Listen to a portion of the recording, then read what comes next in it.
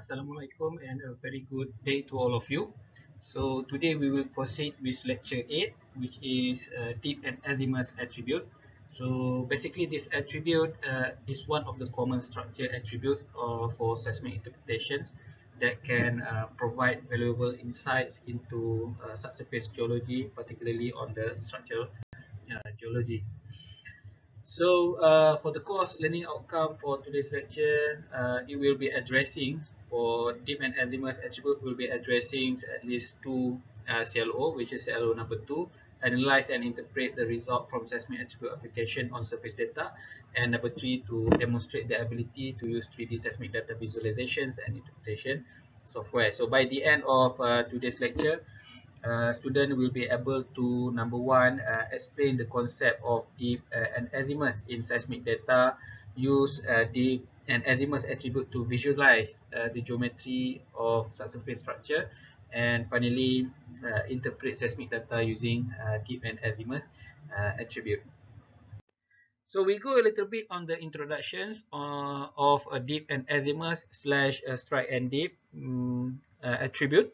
So the structural attributes quantify properties of fault, fold, and diapirs, uh, including uh, deep, slope, Artemis, seismic shaded uh, relief, and curvature.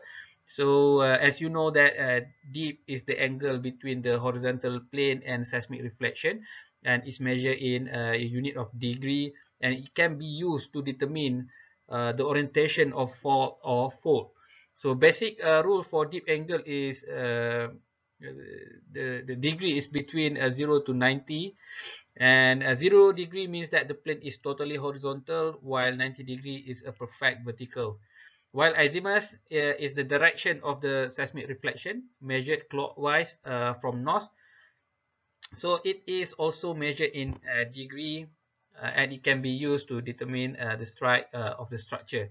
So slope of um, slope is the steepness of the seismic reflection, and it's measured in in percent as well, and it can be used to determine uh, the amount of relief in a, a seismic image.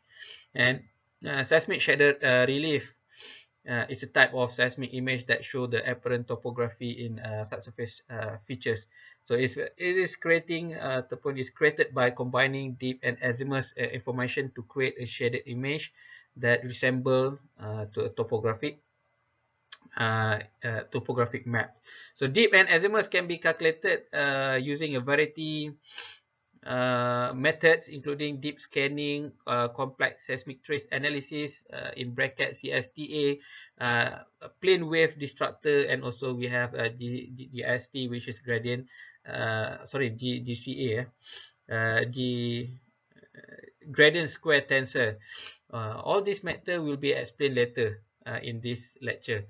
So for qualitative uh, seismic interpretation, deep and azimuth are often combined as apparent deep or as shaded relief. Uh, unlike deep or true deeping, uh, apparent deep is uh, the angle between seismic reflection and horizontal plane uh, as it appears on the seismic image just like what you have seen ataupun been shown in on figure 1 and for CSTA the complex seismic trace uh, analysis is a common method uh, for computing deep slope and azimuth from seismic data. Uh, CSTA works uh, by analyzing the instantaneous frequency and horizontal wave number of seismic traces and it's actually a very powerful tool for computing deep slope and azimuth from seismic data so it can be used to create a high quality of seismic uh, image that later can be used uh, for qualitative seismic interpretation so in terms of mathematical definitions the deep and azimuth are a, a planar uh, element of seismic reflector uh, that can be determined by looking uh, at how uh, amplitude of the seismic signal changes over uh, a small distance. So this information uh, somehow can be used to understand the orientation of the reflector and its relationship to the other reflector in the seismic volume. So here is the definitions and the of deep and azimuth that I believe you guys are already aware on this. If you recall back uh, in structural geology course and basically uh, azimuth uh, is similar to strike in structure geology. So by point in space, if you refer to this figure, it has a three component of uh, x, y, and z at different directions and perpendicular to each other.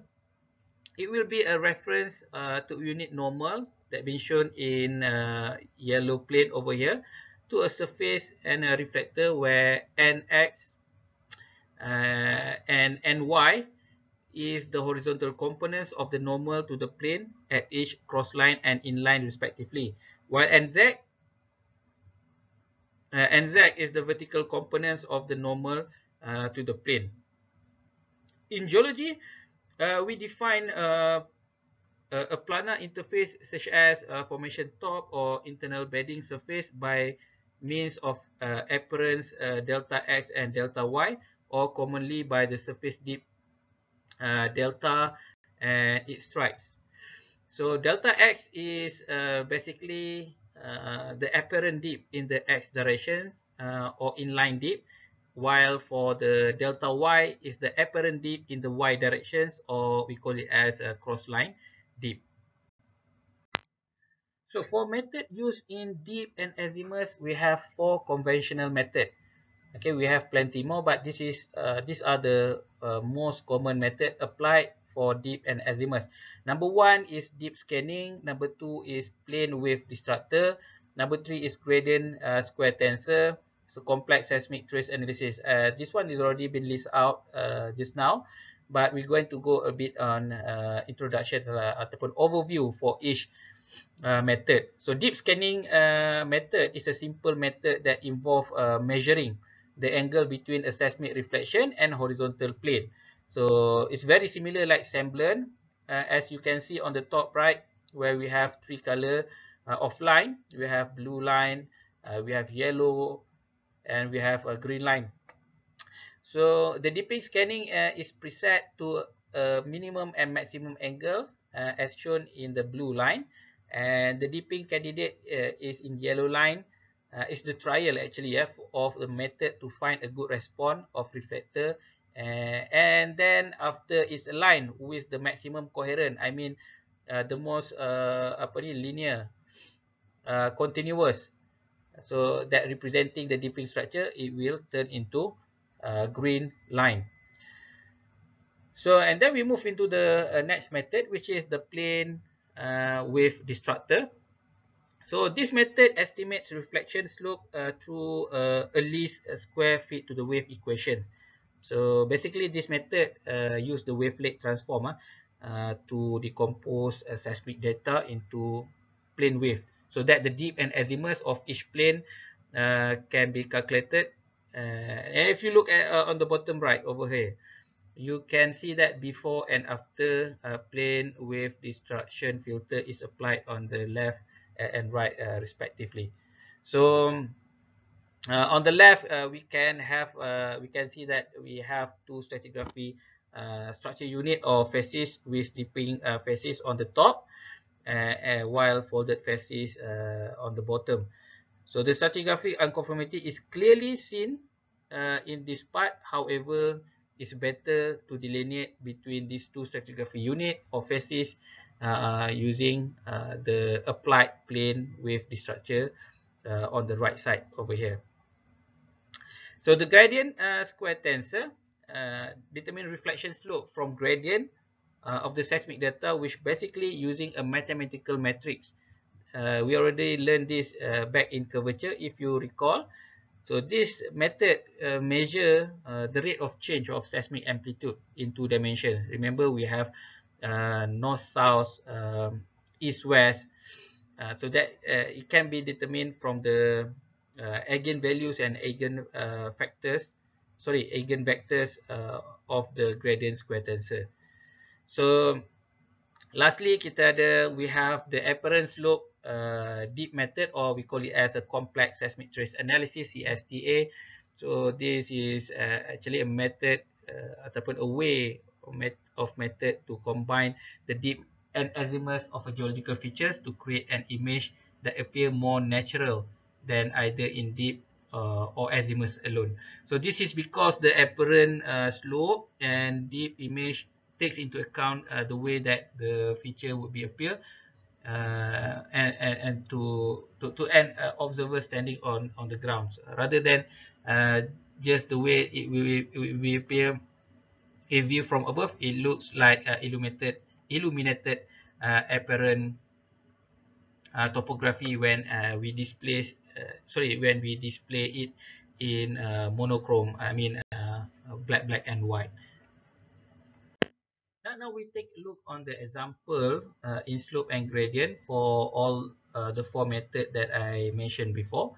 So on the left is the reflection slope that measure the steepness uh, of the dipping structure using different method uh, application like uh, A is dipping uh, scanning, B is the CSTA, C is uh, the plane wave destructor, and D is gradient square tensor.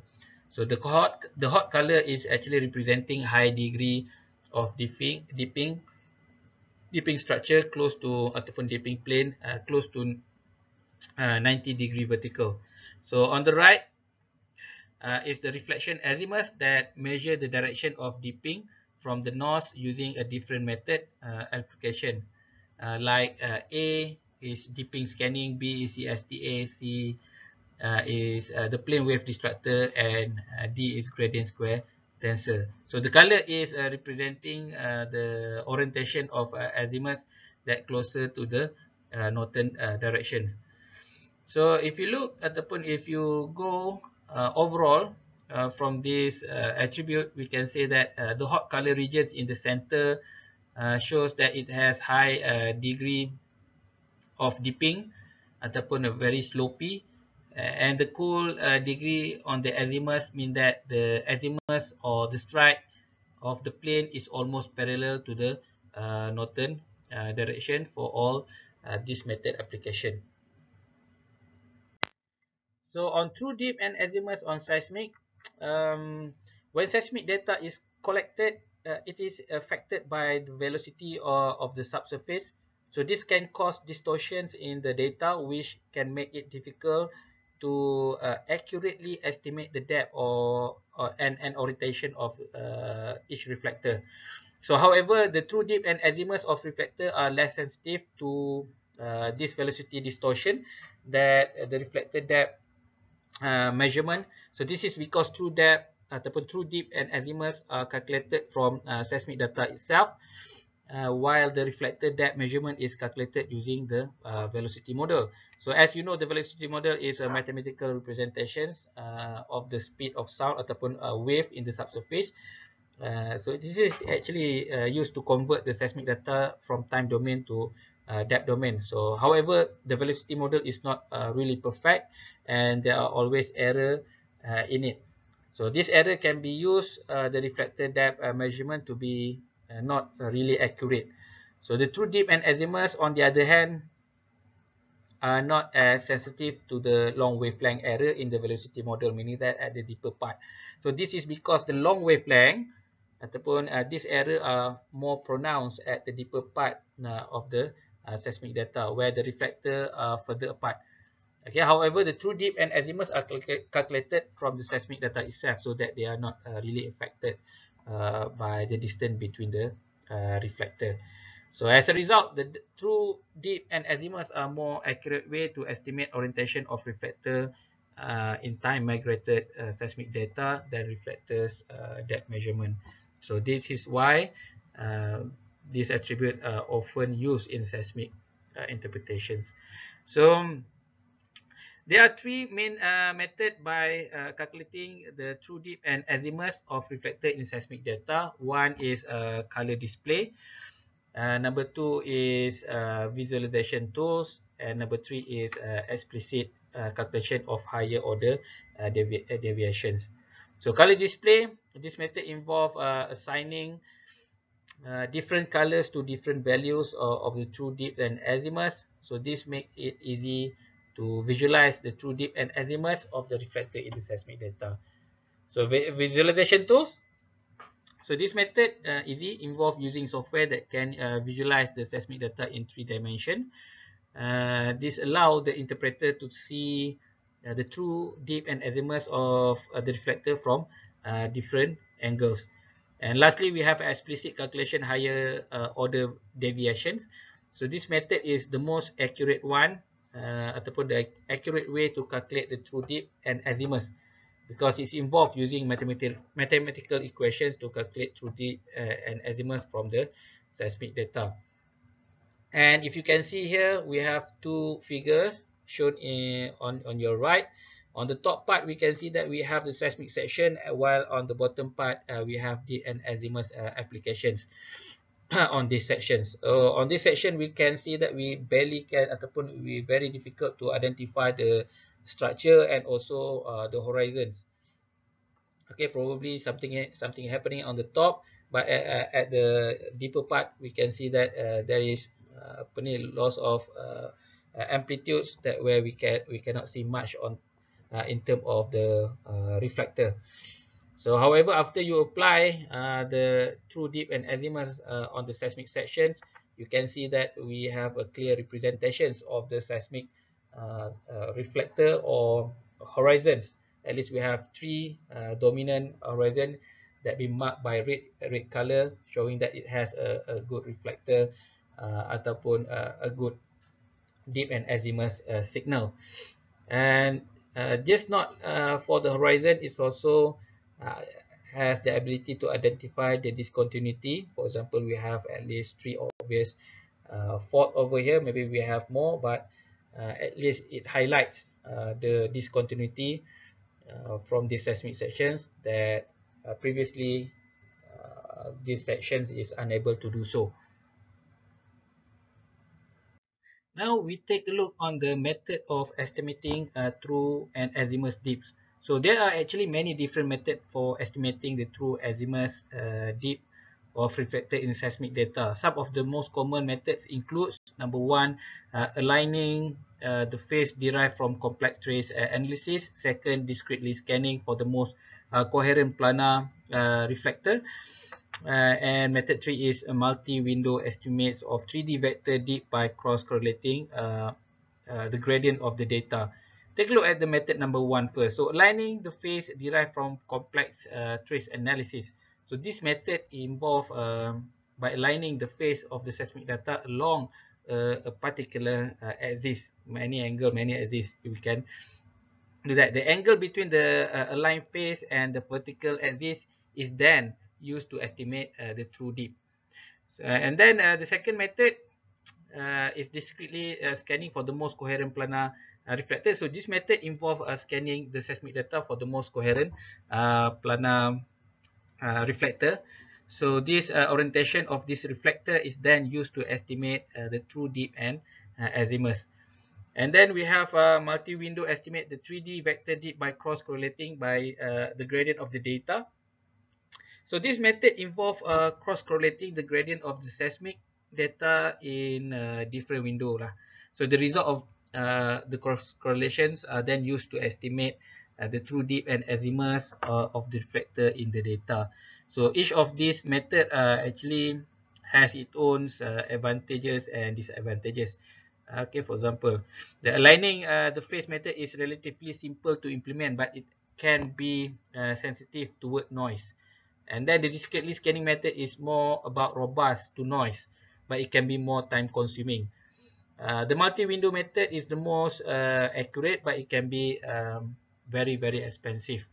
So the best method uh, to use will depend on uh, the specification uh, ataupun the application, the specific application. For let's say, if you want to have a fast result, uh, speed is important, then uh, the discrete uh, scanning method may be the best choice. So if the accuracy is preferable, then multi-window method uh, may be the best choice, even though it's, it's quite, quite, quite of expensive. So next is how to display uh, the deep vector. So number one, um, uh, apparent deep image uh, on the uh, Cartesian axis. So this is the simplest way to display the deep vector. So the deep, dip vector is actually represented by uh, a line and the length of the line represent uh, length of the line is actually represents uh, the magnitude of uh, the dips. So the direction of the line uh, represent uh, the azimuth uh, of the uh, of the dips. So next, shaded relief or illumination image that with the interpreter de determination of the angles. So this method use shaded relief to visualize the deep vector. Okay, normally we do it in a monochrome uh, so that it will appear to be ataupun to to give you a good result of uh, dipping angle. So the angle of illumination is determined by us and then the deep vector is then displayed as a shaded relief image. So this method can be used to create more uh, realistic image uh, of the deep vector. And finally, we have a composite deep uh, and azimuth uh, multi-attribute. Uh, so this is the most comprehensive way to display the deep vector. It's combine uh, the apparent deep image with the shaded relief image.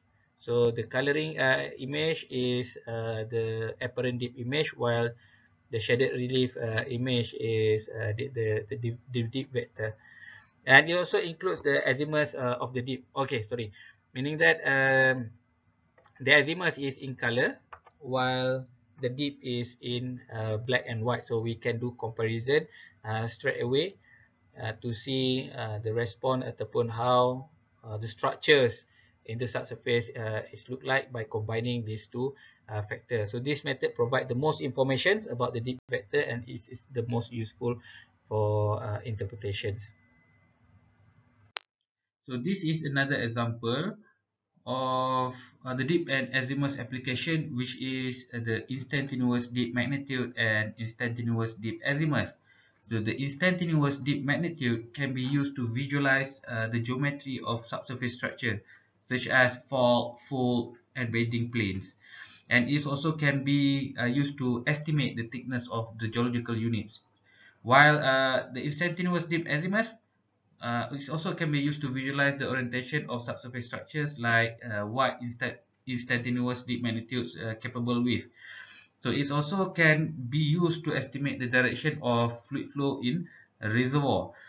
On the on the left, we have a seismic sections and a time slice where basically we can say that we have a, a kind of dome shape like anticline structure especially when we validate it with the circular features on the time structure map.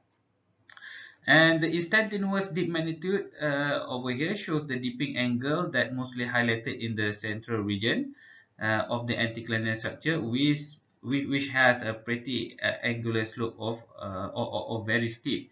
Meanwhile, uh, the instantaneous azimuth uh, on the bottom shows a split of high degree azimuth on the left and low degree azimuth uh, on the right basically showing the orientation of the dipping from the north uh, the degree of the azimuth is exactly flipping for each side and conformable with uh, the time structure map where uh, this area of circular features uh, and this area has different degree of uh, orientation. Apparent deep images so deep is a vector consisting of deep magnitude and deep azimuth, as we know. However, we usually don't see or display uh, deep as a vector, even though we can calculate it uh, its vector. So this is because it can be difficult to um, actually visualize a vector in three dimensions, 3D. Uh, instead, we often use apparent deep image to visualize deep when an apparent deep uh, image is a two-dimensional two-dimensional image that show uh, the apparent depth of a reflector at each point and and can see from a particular direction.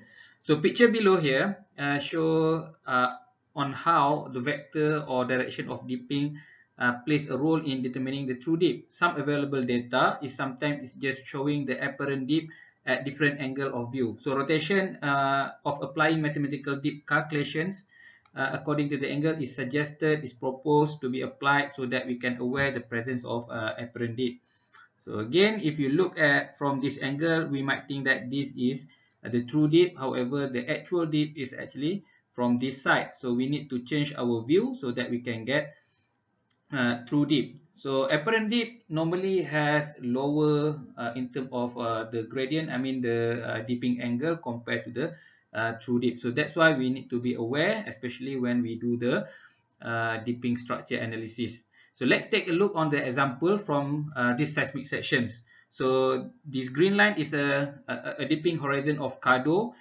Uh, it is actually uh, easy to visualize through time structure uh, slice uh, as it was uh, viewed so that we can get a better understanding ataupun a clear picture on how the, the the apparent dips uh, image is actually uh, look like whether we are actually picking the, the, the correct or true uh, dipping or, or not. So uh, the dip azimuth uh, is plotted at many angle uh, for this case uh, at this uh, time structure map. Uh, for this case, it's plotted from 0 degree, 30 degree, 60 degree, 90 degree, uh, 120 degree, and uh, 150 degree with a direction angle shown in a white arrow over there. So the dipping uh, white line features that has been circled in red doesn't change much if you can see here.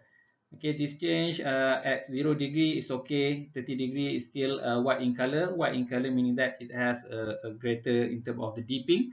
However, uh, the, the, the, the apparent dip will be appear uh, as a black in color, uh, lower dipping degree compared to the true dip, uh, dip when the degree of uh, view is more than 100 ataupun more than uh, 90 degree is common degree for the uh, dipping. So when it uh, beyond than uh, 90 degree, it turns into this one is for 120.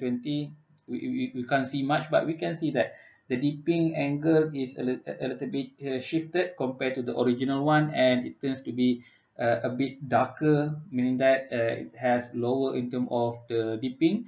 And for 150, the orientation is okay, uh, quite similar to the uh, the the degree be below than 90 degree. However if you can see here it has a black uh, what I call it? Uh, black in color in term of the line showing that it has low in term of in term of the degree meaning that we uh, appear ataupun we can observe ataupun uh, the apparent resistivity is actually uh, appearing.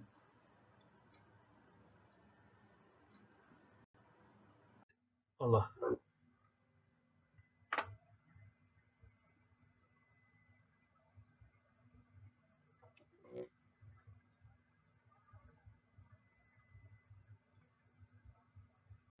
Now we move a little bit on the fundamental of shaded relief. So this uh, this shaded relief is quite common uh, used in GIS applications, but we also can apply this shaded relief in this uh, dip and azimuth attributes. So shaded relief is a function of the angle of incidence of the illumination, which depends on the wait there uh, depend on the reflection orientation and the position of uh, the suns. So this means that uh, the brighter the pixels in a shaded relief, uh, relief image, the more perpendicular the reflection surface is to the uh, direction of illumination. Conversely, the darker the pixel, the more parallel the reflection surface uh, is to the direction of illuminations. And uh, shading can be controlled by uh, exaggerating reflection slope uh, to enhance contrast or by adjusting surfaces to appear dull like shale, shiny like water or moderately shiny um, like quartz, uh, quartz sand. So this means that the interpreter can control how much uh, contrast is visible in the shaded relief image by adjusting the steepness of the reflection slope uh, or the amount of reflectance. For example, if the interpreter uh, if we wants to highlight a subtle fault okay they might uh, exaggerate the reflection slope uh, to make them more visible uh, third because uh, shaded relief depends on the sun uh, position it act as a directional filter so this means that the shaded relief image will only show features uh, that are oriented in certain uh, direction. For example, if the sun is positioned directly overhead, the shaded relief image uh, we only show features that are uh, vertical. So shaded relief is a seismic attribute that is used to transform seismic data into realistic looking apparent topography. So this can be done by illuminating the seismic data from a single uh, point source uh, such as the sun uh, the brightness of each pixel in the shaded relief image is then determined by the angle of incidence of the light, which is a function of the dip and azimuth of the reflection surface. shaded relief is uniquely for 3D data only because it requires the concept of data using uh, ataupun being taught uh, of a collection of, of a surface that can be illuminated simultaneously. So in, in, in 2D seismic data, the dip azimuth uh, of each reflection surface can only be determined at a single point in, in, in a time. So this means that uh, it is not uh, possible to create a shaded relief image that show the entire 2D uh, seismic data volume. Uh, shaded, uh, shaded relief displays uh, facilitate geologic understanding because apparent topography often suggests uh, geology. For example, a, fault that appears as a steep cliff in a shaded relief image is likely to, to be a significant uh, structural feature. Similarly, a stratigraphy unit uh, that appears as a ridge in a shaded relief image is likely to be thick and, and continuous unit. Uh, by varying the inclinations and uh, azimuths of the suns, the, in the interpreter can uh, non-linearly enhance or diminish uh, the features of interest or steering the light uh, outside the interpreter's view. So this can be used to highlight uh, specific features in the seismic data or to obscure features that are not of interest. If you look at this picture here, we can see uh, the standard time slice and deep azimuth application on the bottom picture of it. And shaded relief is applied on the uh, standard time slice and we can see that some features that appear on the uh, appears here to be correlatable to deep and azimuth. For example, this one, this lineament and this lineament uh, shows that uh, it has similar features. Uh, for example, this linear features on the shadow is also appear in deep uh, azimuth. So, and this is what happened when we apply the reflection continuity, which is the exaggeration function of the shaded relief that was applied on deep uh, the deep azimuth attribute, where where where we can see uh, more features are actually uh, appearing. Consider the entire volume as a collection of reflection surfaces and consider every data point in the volume as lying on some reflection surface. So this means uh, that we can think of a seismic volume as a stack of thin or flat layers. So each layer uh, has a different dip and azimuth which tell us how it oriented in the subsurface. Uh, illuminate this uh, surface uh, simultaneously with a single distant light source which is the sun because the sun is distance illumination is uniform in directions and uh, intensity throughout the seismic data volume. So this means that the angle of uh, incidence of the light is actually the same for all uh, of the reflection surfaces in the in the volume. And then compute uh, the shaded relief of a surface at relative uh, illuminations, which is some functions of the angle between the incident light and the reflection uh, surface. So this means that uh, the brighter the pixels in the shaded relief image, the more perpendicular uh, the reflection surface is to, to the direction of illumination. Conversely, the darker the pixel, uh, the more parallel the reflection surface is to uh, the direction of illuminations. So the orientations of the reflection surface are found through available reflection dip and azimuth attribute which measure the strike and dip of the buried rock uh, layers. So this means that we can use uh, the dip and azimuth attribute to uh, determine the angle of incidence of the light for each reflection surface uh, in the volumes. Uh, decide whether the surface uh, appear dull or shiny. Exaggerate the slope in your data to enhance uh, the relief.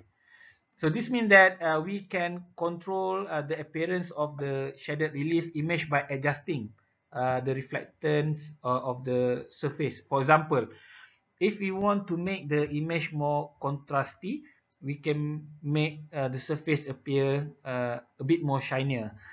Uh, we can also exaggerate uh, the slopes in data to enhance uh, the relief.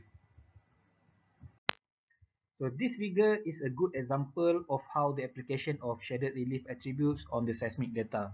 So the shaded relief attribute if we observe here uh, it show it shows most likely the shaded regions uh, on the left part where we need to expect the location of the signs from the from the right where uh, is cover is cover the regions on the left flanks on the anticlines over here.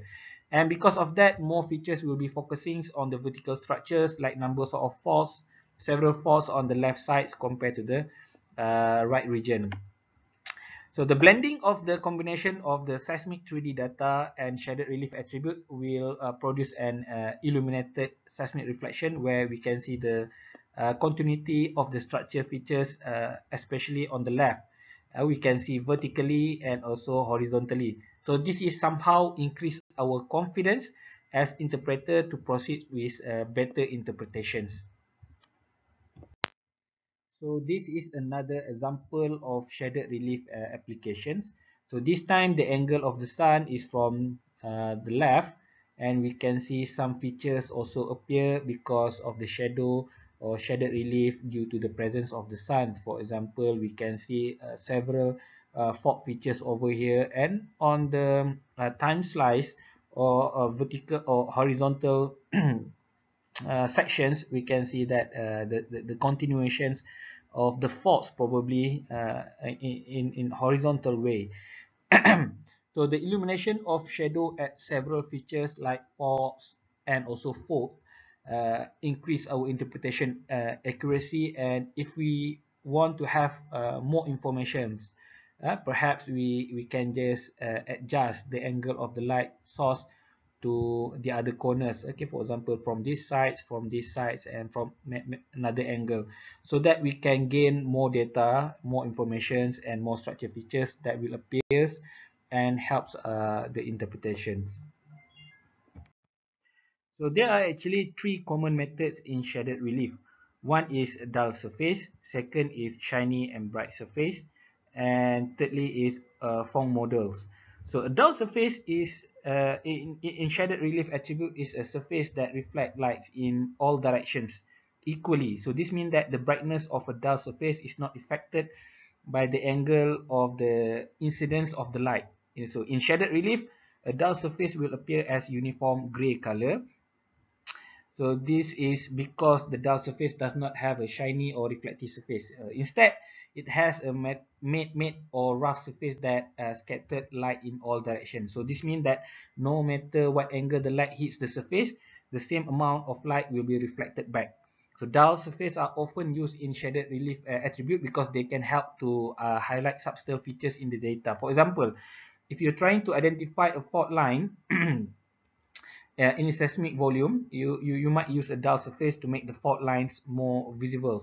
So the benefit of using a dull surface in shaded relief attributes includes um, one, it can help uh, to highlight subtle features in the data. Second, they can be used to create uniform gray, gray color, so which uh, can be very helpful for comparing different data sets. Third, they are relatively easy to implement. We just click and we, we uh, uh, apply. But the drawback of these meta attributes uh, includes uh, they, they can make the data look uh, less realistic because it's too gray, dark gray in color. Sometimes we cannot uh, see the realistic in terms of the image. So they can be difficult. This is the second. They can be difficult to use it to create a, a sense of uh, depth. And thirdly, they can be less effective of highlighting features that are oriented at the steep angle to uh, directions of uh, illuminations. Next is a shiny uh, bright surface. So shiny bright surface reflects light in more directional ways than a dull surface. So this means that the brightness of a shiny uh, bright surface is affected by the angle of incidence of the light.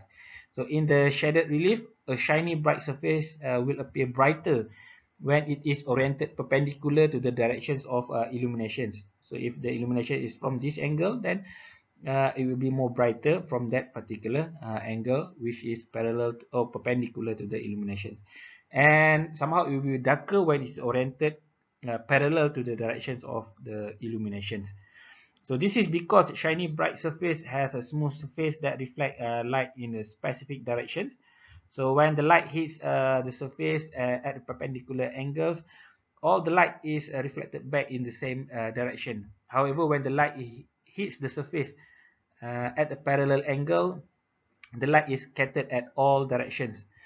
Uh, this means that the less light is reflected back and the surface appear a bit darker. Uh, shiny bright surface are often used in shaded relief attribute because they can help to create a, a sense uh, of depth in the data. For example, if you're trying to identify a fault line in seismic volume, uh, you might use a shiny bright uh, surface to make fault uh, line appears uh, more uh, prominent. So the benefits of using this um, this method is similar like dull surface. Uh, uh, it can help to create a sense of data in uh, uh, depth of in, in the data.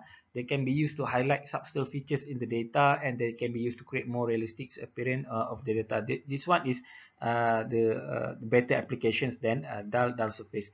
However, the drawbacks less less natural and it can be difficult to use to compare uh, different data set and uh, they can be less uh, effective at highlighting features that are oriented at a steep angle to the direction of illuminations. Now we move into the third method, which is uh, the Phong models. So uh, the Phong model is a more advanced method for calculating uh, the shading of uh, a surface.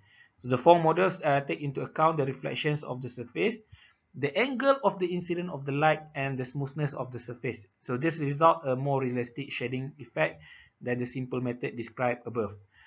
So uh, Phong model is a function of three components. Remember this number one is uh, ambient light. So this is uh, the light uh, that is reflected from all surfaces regardless of the angle of incidence.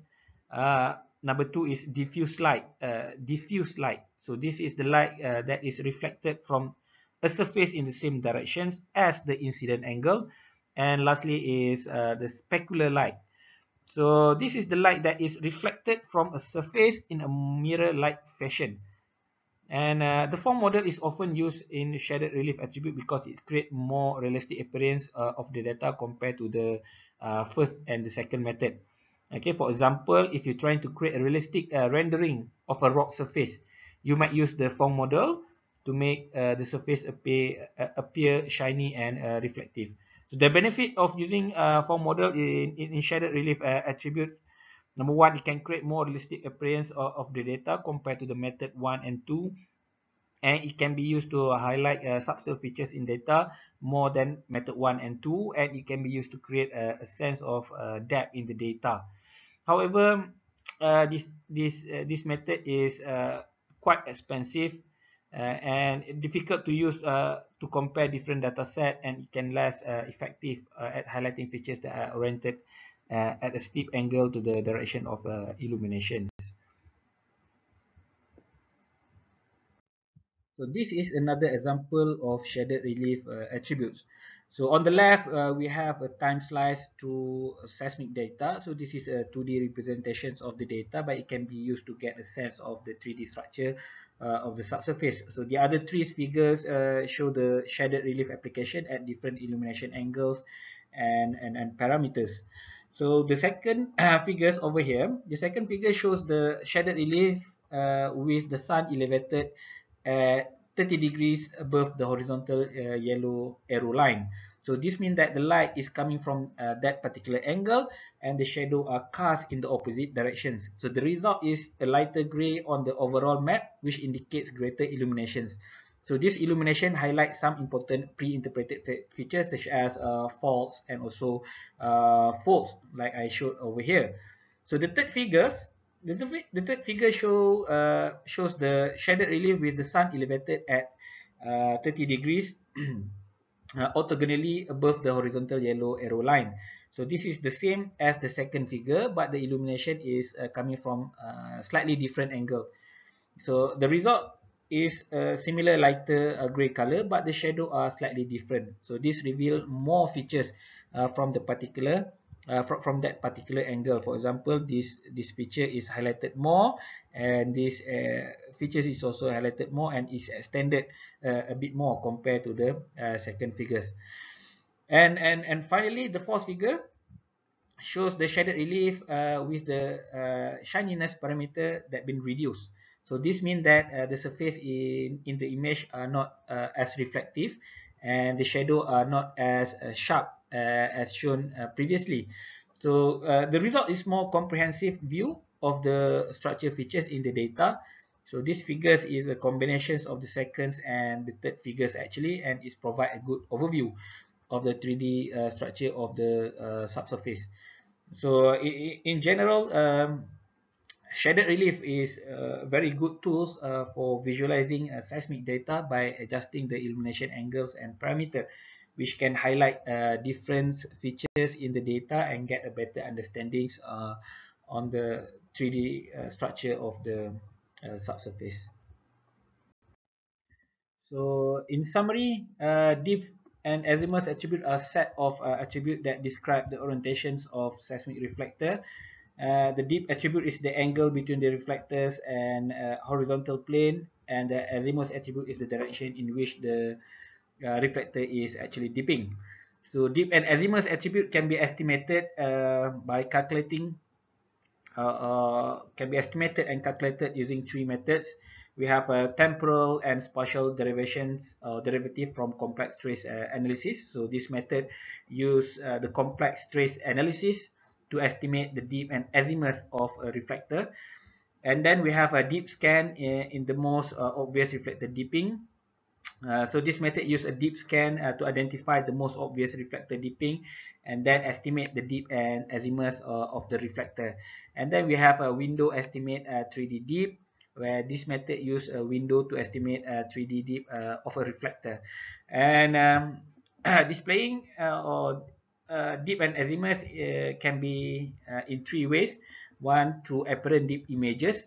So um, this images uh, shows the apparent dip of a reflector at a different angle of uh, incidence and we have a composite uh, display.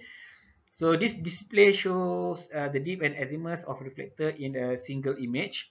While uh, lastly, we have a shaded relief uh, method where we have uh, discussed it in, in very long run. So this displays uh, uses light and shadow to create a three-dimensional 3D representation of a, a reflector. So these are the list of references that I use as a material for this lecture and mostly uh, from uh, Barnes um, for especially for the shaded relief uh, in display of seismic data and, and the attributes. And um, for overall uh, materials uh, and also examples, uh, I took it from Chopra and uh, Marfurt, in um, SEG book 2007. Uh, with that, uh, thank you and uh, I hope that we can meet again uh, in the next uh, lecture.